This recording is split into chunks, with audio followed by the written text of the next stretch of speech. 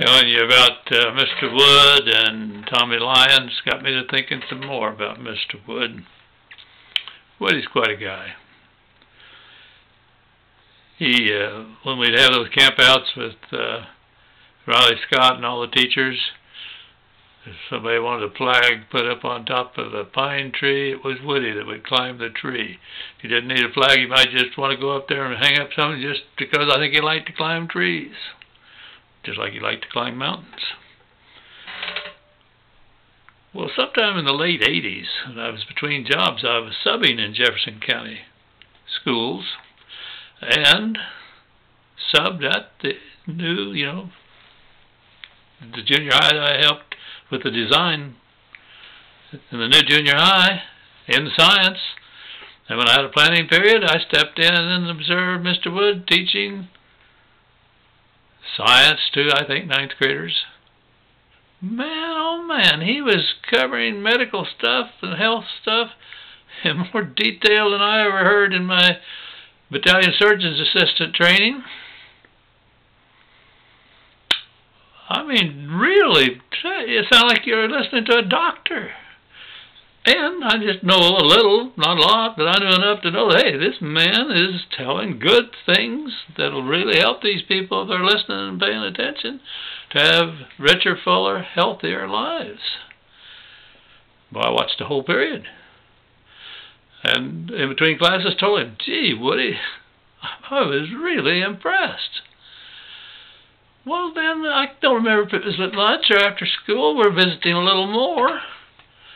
And he more or less said, you know, how's your health? And I said, well, pretty good, but doggone it, I have a lot of trouble with my stomach, some hemorrhoid trouble.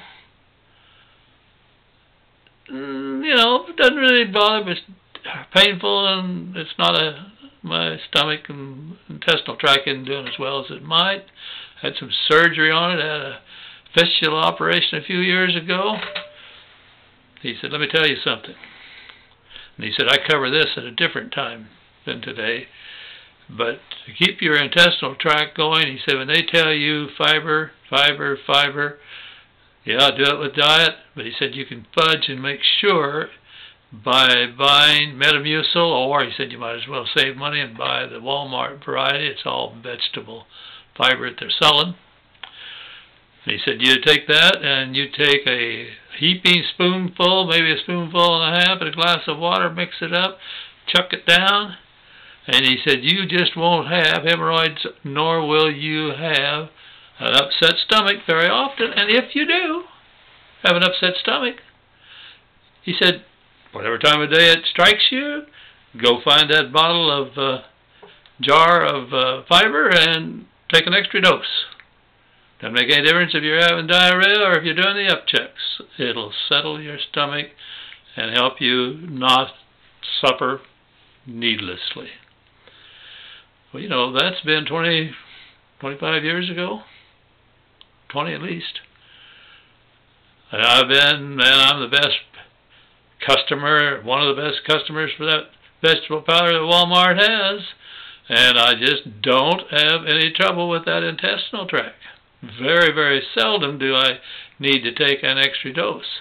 Once in a while I eat something that doesn't agree with me. It might be going out either end, but follow his suggestion. Without fail, takes care of it in minutes. Usually I take the medicine, lay down, take a little rest, and when I wake up, never know that I was sick to start with.